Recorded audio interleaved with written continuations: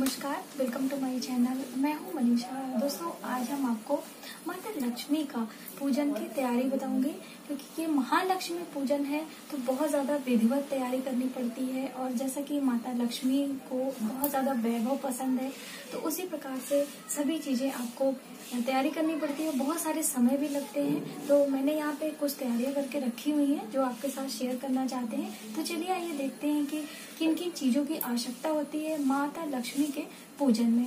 और ये महालक्ष्मी का समापन है, जो कि 16 दिनों से ये महालक्ष्मी व्रत चल रहा था। राधा अष्टमी से शुरू होता है और महालक्ष्मी, यानी अश्विनी कृष्ण पक्ष की अष्टमी तिथि को यह समापन होता है। तो चलिए, हम अपने वीडियो को शुरू करते हैं। तो चलिए देखते हैं कि हमने क्या क्या यहाँ पे तैयारी करी है। जैसे कि इसमें सभी चीज़ें सोलह सोलह लगती हैं तो मैंने यहाँ पे सोलह हर चीज़ें ली है। और बहुत सारे लोगों का क्वेश्चन भी था कि सोलह चीज़ें कैसे चढ़ानी है, क्या करनी है। तो इसीलिए मैंने ये वीडियो बनाई है मतलब बना रहे आपके साथ में, कि आपको समझ में आ सके कि कैसे क्या चीज़ें तैयारी करनी पड़ती है। तो चलिए हम कैमरा को थोड़ा सा नीचे करते हैं, जिससे आपको सारी चीज़ें दिखाई पड़े। दोस्तों, जैसा कि आप देख सकते हैं कि हमने यहाँ पे एक लाल कपड़ा बिछाया हुआ है। इसके नीचे ये लकड़ी की चौकी है, जैसे कि पूजन में लकड़ी की चौकी का महत्व होता है। और यहाँ पे इस तरफ़ मैंने कलश स्थापना किया हुआ है। कलश के नीचे अष्टदल कमल बनाया है। और अभी इसमें हमने पान का पत्ता लगा के रखा हुआ जैसे कि आम का पत्ता, पान का पत्ता। या फिर अशोक का पत्ता। इनमें से कोई भी पत्ता आपको मिल जाए, वह आप लगा सकते हैं। और ये माता लक्ष्मी की प्रतिमा है। यदि आपके पास मिट्टी की मूर्ति मिल जाती है और मिट्टी के हाथी पे आप उसे स्थापित कर रहे हैं तो वो एक अलग चीज़ हो जाती है। नहीं तो इस तरह की प्रतिमा जिसमें ये हाथी आप देख सकते हैं, दोनों तरफ़ हाथी के सूर से ये जल बरस रहा है। यही वाली प्रतिमा का पूजन माता महालक्ष्मी के पूजन में किया जाता है। तो मैं आपको इसको पास से दिखा देती हूँ कि ये देख सकते हैं, इस तरह की प्रतिमा है। और ऐसे ही बैठी हुई लक्ष्मी माता का पूजन करना चाहिए। तो यहाँ पे इस तरीके से। और इस तरफ़ यहाँ पे मैंने दीपक लगाया हुआ है। अभी मैंने प्रज्वलित नहीं किया है आपको दिखाने के लिए ये। यहाँ पे एक दीपक हमने लगा के रखा है और बाकी दीपक जो सोलह दिया जलता है माता के पूजन में तो ये मैंने आटे का दिया यहाँ पे लिया हुआ है, आटे से मैंने बनाया और इसमें क्रॉस बत्ती लगाई है। बहुत सारे लोगों का क्वेश्चन होता है कि क्रॉस बत्ती क्या होती है? तो ये इस तरीके से क्रॉस किया जाता है। एक बत्ती इस तरह लीजिए और इस तरह से क्रॉस करके तो इसे क्रॉस बत्ती बोलते हैं। और या फिर आप चाहें तो इस तरह से सिंगल बत्तियाँ जो आती हैं, रुई की, ये भी आप लगा सकते हैं। ये यहाँ पे इस तरह से आप लगाएँ। तो चाहे जैसे आप पूजा करें, आपकी इच्छा हो, लेकिन ये क्रॉस बत्ती ज़्यादा शुभ मानी जाती है माता लक्ष्मी के पूजन में। दोस्तों, जैसे मैंने यहाँ पे ये बनाया हुआ है तो मैं आपको दिखाना चाहती हूँ कि ये इस तरह से मिट्टी के दिए जो आते हैं, यदि आप आटे का दिया नहीं बना सकते हैं तो आप मिट्टी के दिए भी ले सकते हैं। लेकिन महालक्ष्मी पूजन में हम लोग बहुत ज़्यादा सावधानी बरतते हैं, क्योंकि माता लक्ष्मी को प्रसन्न करना होता है। माता लक्ष्मी की कृपा हम पे बनी रहे तो कोई भी त्रुटि न हो। इस बात का हमेशा ध्यान देना चाहिए। तो ये हो गया, और मैंने यहाँ पे स्वस्तिक का निशान बनाया है। ये चावल से है, सफ़ेद चावल से। आप बनाइए, नहीं तो इसमें कोई ज़रूरी नहीं है, लेकिन शुभता के लिए स्वस्तिक बनाया जाता है, इसलिए बनाना शुभ होता है। और माता लक्ष्मी के पूजन में लाल गुलाब का पुष्प है दोस्तों कमल का भी पुष्प माँ लक्ष्मी को अर्पित किया जाता है, इसलिए अभी मुझे मिला नहीं है। मैं यहाँ पे गुलाब का फूल इस्तेमाल कर रही हूँ। ये गुलाब के फूलों की माला है। ये आप देख सकते हैं। ये इस तरीके से। तो आप जैसे बहुत इसमें सभी चीज़ें सोलह लगती हैं तो सोलह फूलों की माला हो सकती है या फिर एक माला को आप सोलह बार माता को पहले आप दोनों हाथों में लेकर इस तरीके से, दोनों हाथों से लेके माँ को ऐसे आभार प्रकट करिए यानी कि भावना बस सोलह बारी ऐसे करके एक बार आप लास्ट में पहना सकते हैं। तो ये हो जाता है आपका सोलह बारी। और इसी तरीके से सोलह दीपकों का होता है। आप एक जब आरती करना होगा तो ये सारे दीपक हम एक प्लेट में रख लेंगे और उसके बाद माता की आरती करेंगे। ये आप देख सकते हैं, माँ के पूजन में पीले चावल का अक्षर ज़रूरी होता है तो आप थोड़े से चावल धो के और उसे हल्का सा हल्दी से कलर कर लें।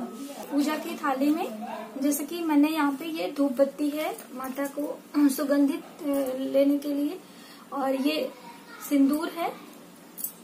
पीली चावल मैंने आपको बताया कि माँ के पूजन में पीले चावल से माता का पूजन होता है, अक्षत के रूप में प्रयोग करेंगे। और ये थोड़े से कुमकुम है, यानी कि ये घंटी है, पूजा के लिए हमें चाहिए। दुपत्ती और दीपक प्रज्वलित करने के लिए ये माचिस चाहिए। और यहाँ पे मैंने बिल पत्र लिया है। माता को बेलपत्र बहुत पसंद है तो इसलिए माँ के पूजन में बेलपत्र और कपूर का प्रयोग अवश्य करना चाहिए। तो ये आप देख सकते हैं, इस तरीके से बेलपत्र है। ये, और ये गणपति जी के लिए दूरबा घास और समी का पत्र है। अभी हम गणपति जी आपको बना के दिखाएँगे कि हमें कैसे गणपति जी अपने घर में स्थापित करना होता है। यहाँ माँ के सामने गणपति जी, हम आपको बताएँगे कि किस तरह बनाना होता है। और ये हल्दी से, आप देख सकते हैं, यहाँ पे मैंने हल्दी लिया है। इसे हम गौरा माता बनाएँगे। और एक यहाँ पे इतना आपको लेना है। ये मौली है। कोई कोई इसे कलाई नारा बोलते हैं, या फिर मौली ले लीजिए। ये माता के मंत्रों का उच्चारण करते हुए जो सोलह गांठे मैंने आपको लगाने के लिए बताया था इन्हीं को आपको गांठ लगाना है इसमें सोलह और सोलह बार मंत्र बोलते जाना है। अभी हम आपको पूजन करते समय ये सारी चीज़ें आपको अवश्य बताएँगे।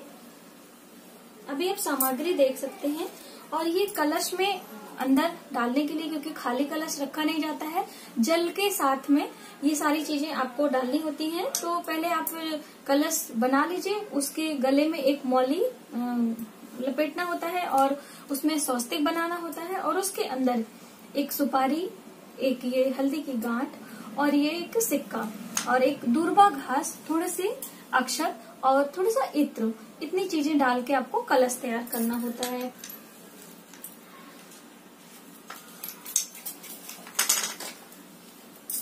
और जैसा कि सभी चीज़ों के साथ में ये नारियल है।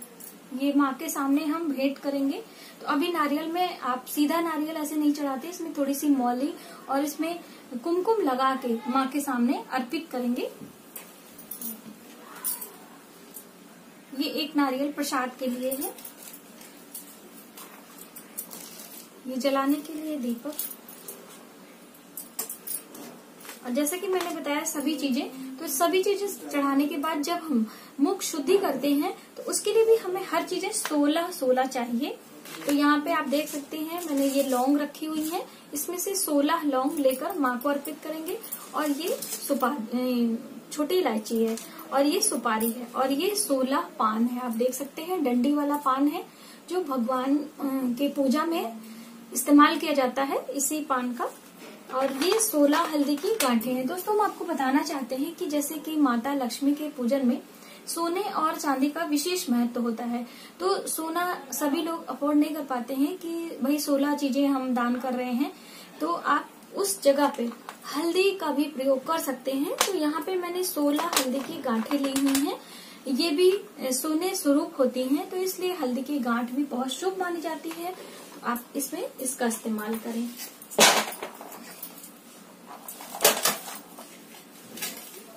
और माता रानी को भोग लगाने के लिए हमने यहाँ पे ये मिठाइयाँ ली हुई हैं। इसको भी आपको सोलह टुकड़े में कर लेना चाहिए।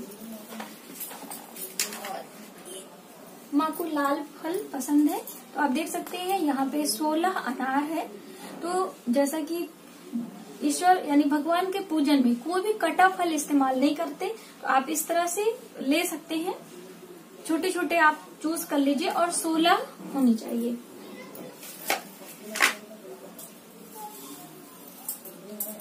ये यहाँ पे माता के लिए चुन्निया है। ये सोलह चुन्निया है। ये एक एक करके आप देख सकते हैं। माँ के लिए है सारी चीज़ें। तो ये सोलह चुन्नी, जो मैं आपको बता रही हूँ, ये सारी चीज़ें सूप में भर के रखनी होती हैं। तो ये यहाँ पे देख सकते हैं, मैं आपको दिखाना चाहूँगी। यहाँ पे हमने सूप भी लिया है। ये एक सूप है और एक ये दूसरा ढकने के लिए। ये अभी सूप को हम इसमें एपन वगैरह लगा के इसे सजाएँगे। और उसके बाद सारी सामग्री, सुहाग की सोलह चीज़ें इसमें रखी जाती हैं। और इसमें फूलों की माला भी रखी जाती है, पुष्प भी आप रख सकते हैं और मिठाइयाँ भी, खीर पूरी यानी सारी चीज़ें आपको इसमें रखनी पड़ती हैं। तो मैंने आपको एक, ये चुन्नी और पान सुपारी, लौंग, इलायची आदि सभी ये जो हम चढ़ाएँगे, वही बाद में सूप में रख देंगे। और एक माता रानी को पहनाने के लिए अलग से चुनरी मैंने ली है। ये आप देख सकते हैं।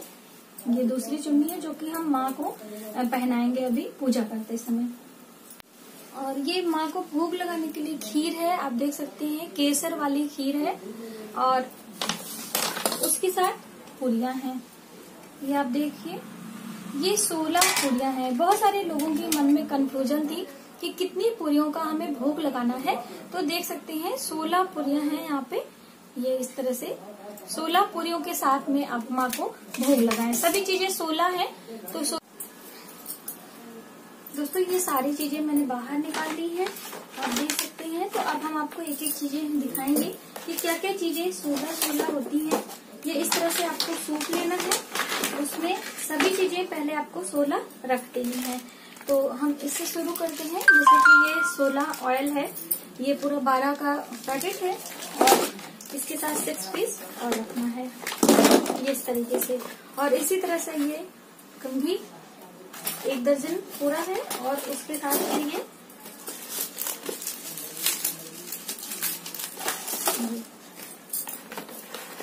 ये मेहंदी का पैकेट है। वो सेट करके आप रख लो। इस तरीके से इसमें कि एक दूसरे से गिरे नहीं।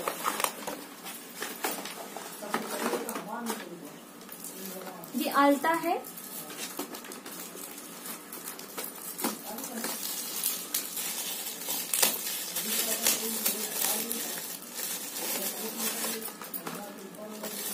यहाँ पे आपको लगाना है।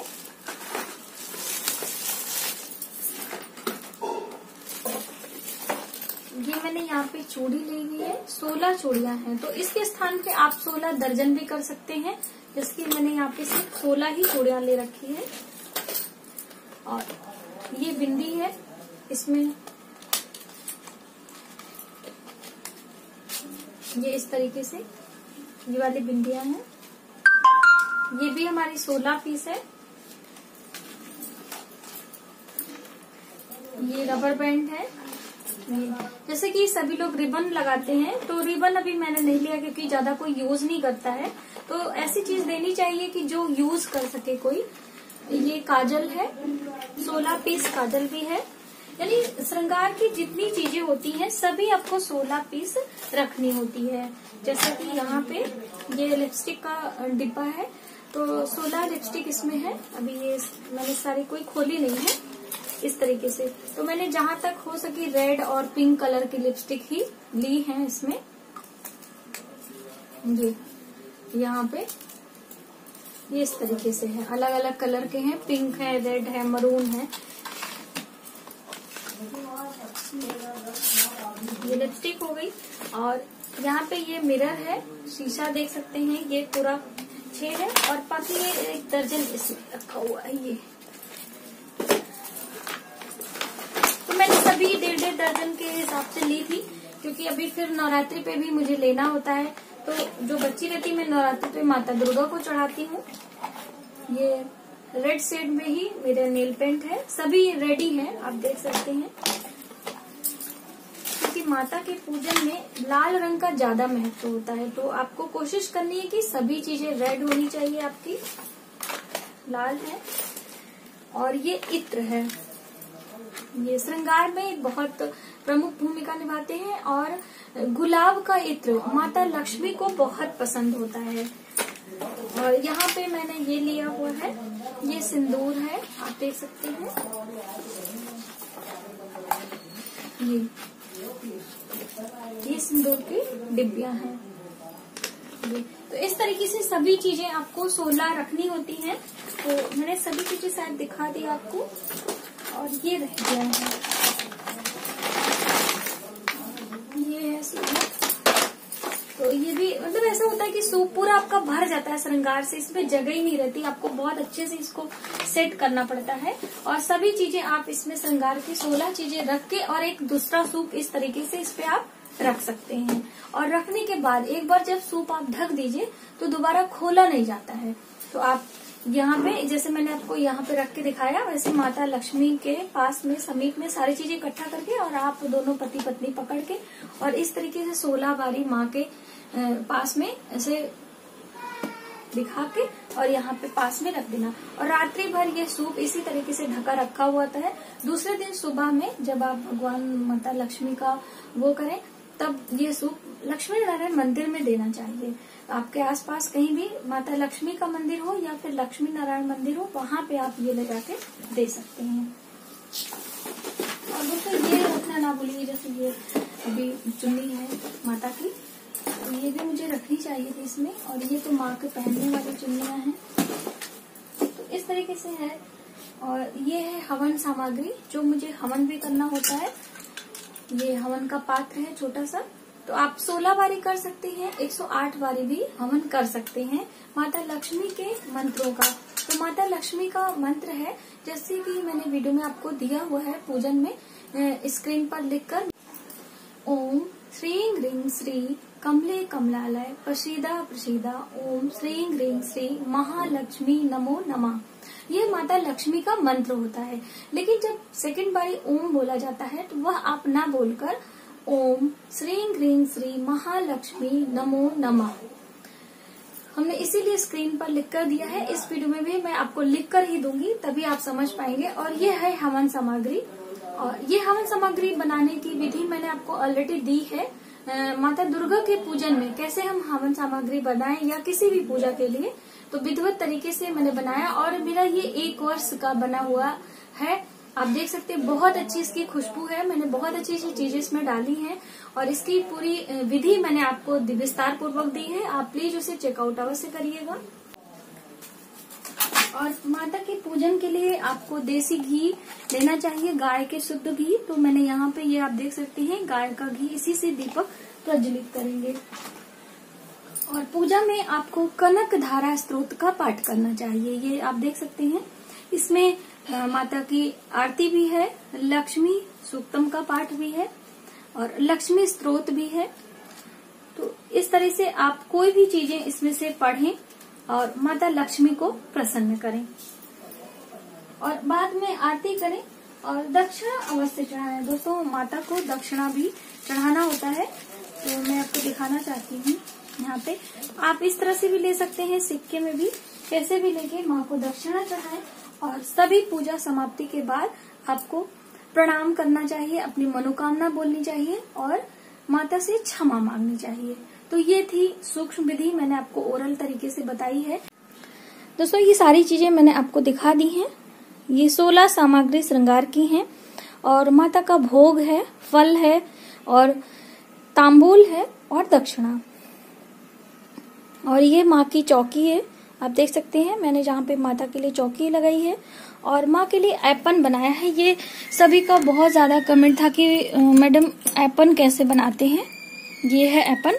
चावल को भिगोकर उसमें थोड़ी सी हल्दी मिला के इसे पेस्ट बनाया जाता है और इसको बनाने का प्रॉपर तरीका मैंने सप्तमी पूजा में बताया है। तो आप वहाँ पे चेकआउट कर सकते हैं या फिर थोड़े से चावल आप भिगा दीजिए और उसे मिक्सर में ग्राइंड कर लीजिए पेस्ट बना के, हल्दी मिला के एपन तैयार कर सकते हैं। इसी एपन से हम सूप को सजाएँगे और माता के पूजन में सर्वप्रथम एपन का ही प्रयोग किया जाता है। ऐसा माना जाता है कि चावल और हल्दी का मिक्स जो एपन होता है, माता लक्ष्मी इससे बहुत ज़्यादा प्रसन्न होती हैं। तो ये एपन का प्रयोग अवश्य आप करें। और यहाँ पे आप देख सकते हैं दाहिनी तरफ़ ये दीपक है। एक ये एक दीपक प्रज्वलित करके रखना चाहिए। उसके बाद ये सोलह दीपकों से आरती करना चाहिए। तो दोस्तों, हमें उम्मीद है कि आपको हमारी तैयारी पसंद आएगी और आपको समझ में भी आ गया होगा कि हमें किस तरीके से माता रानी के पूजन की तैयारी करना चाहिए और क्या क्या किस तरीके से करना चाहिए। तो ये थी जानकारी महालक्ष्मी पूजन की कि हम इसका तैयारी कैसे करें और दोस्तों, पूजा कैसे की जाती है, हम आपको नेक्स्ट वीडियो में बताएँगे। यदि हमारी जानकारी आपको थोड़ी सी भी हेल्पफुल लगे तो प्लीज़ हमारे वीडियो को लाइक करें शेयर करें सब्सक्राइब ज़रूर करें न्यू वीडियोज़ के लिए। Thank you